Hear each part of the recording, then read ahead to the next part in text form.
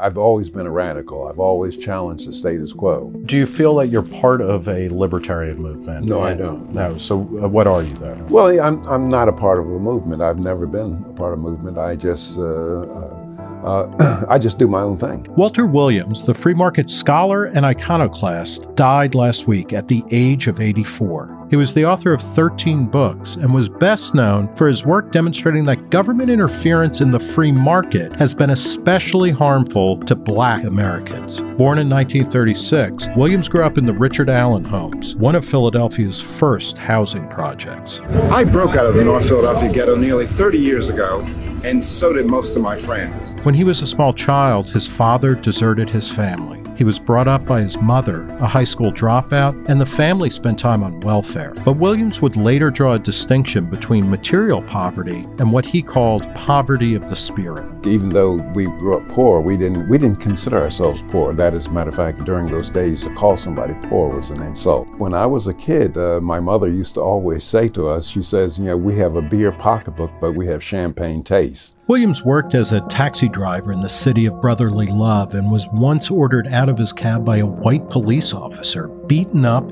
and then charged with disorderly conduct. He was drafted into the Army and, while stationed in Georgia, kept getting in trouble, occasionally with his fists, for standing up to the racism of white officers. But he came to believe that discrimination should be legal, just as long as it didn't involve government resources. One of my strong values is freedom of association. If you believe in freedom of association, you have to accept that people will associate in ways that you find offensive.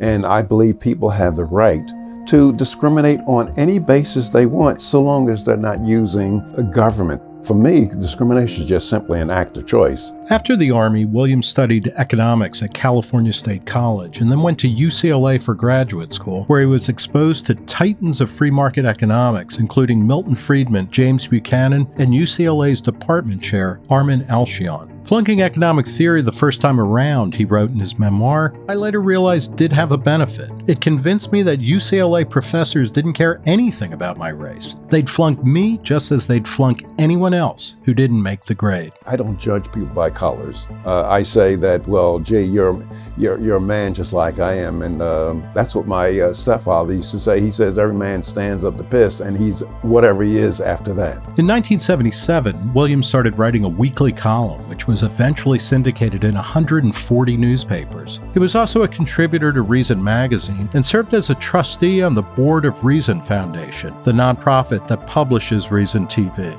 For all his individual accomplishments, Williams was especially proud of his role in making George Mason University's economics department a home for free market radicals. There was considerable hostility towards our department, and I had a lot of difficulty, and so I just said, well, the only way I'm going to improve the department is to try to privatize the department and actually go out and raise money. Last week, his former colleagues at George Mason paid tribute to their mentor and friend. GMU Econ has lost an iconic and heroic figure, wrote Pete Boettke. He taught with wit and passion the logic of economic reasoning. He is one of my few heroes, wrote Don Boudreaux. Liberty is the rare state of affairs in mankind's history arbitrary abuse and control by others is the standard dish, even now. And all the tendencies are is for us to have greater and greater amounts of our liberty uh, usurped by uh, government.